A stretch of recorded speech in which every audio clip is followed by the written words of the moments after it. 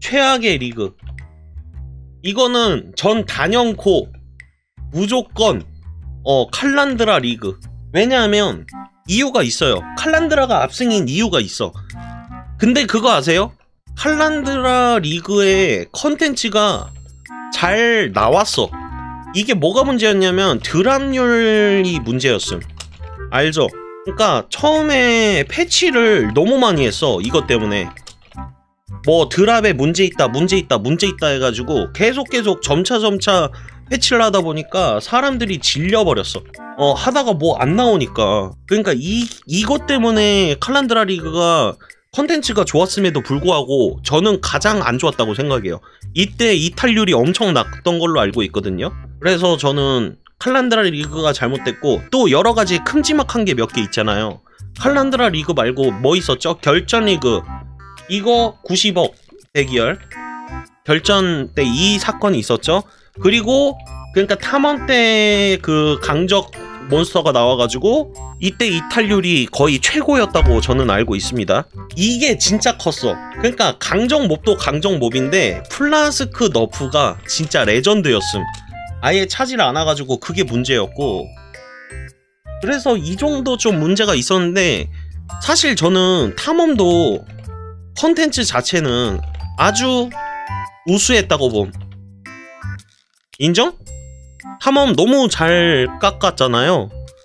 그래서 너무 괜찮았어. 변형 리그도 개노잼이었다고? 변형 리그는 뭐가 문제였냐면 그게 문제였죠. 근데 솔직히 리그마다 다 문제는 있었어.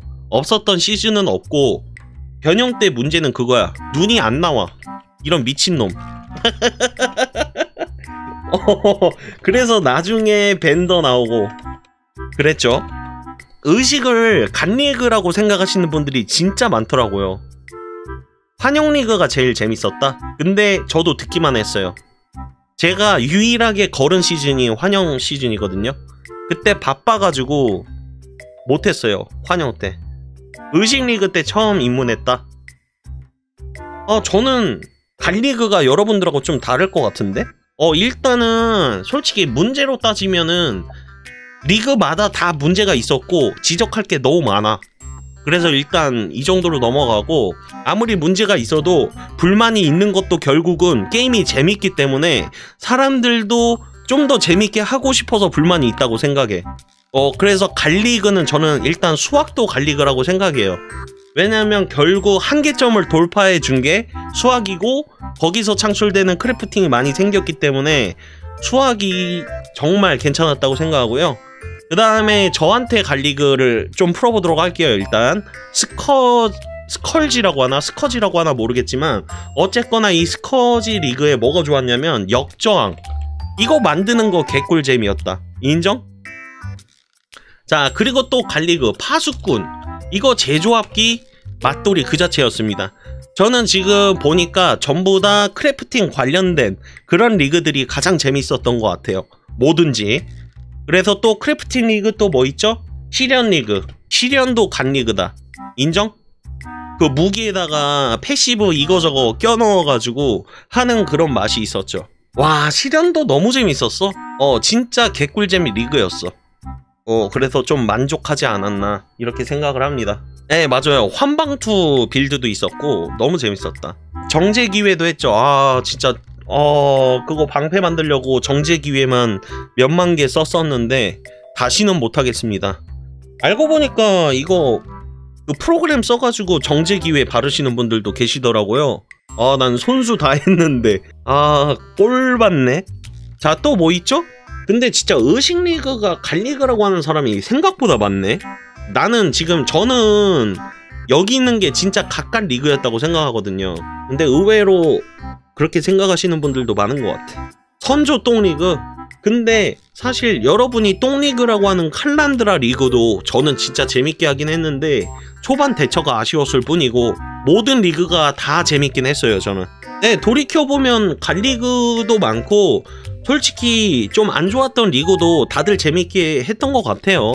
다만 이제 90억 대 기열 결전 리그에서 골 받았던 게 또 뭐가 있냐면 대기열만 골 받는 게 아니라 어 물결섬까지 갔는데 튕겼더니 리셋이야.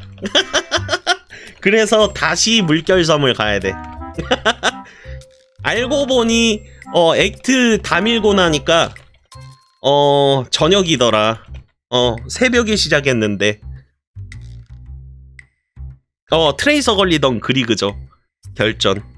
진짜 레전드였지. 어 다 밀었는데 저녁이었어요.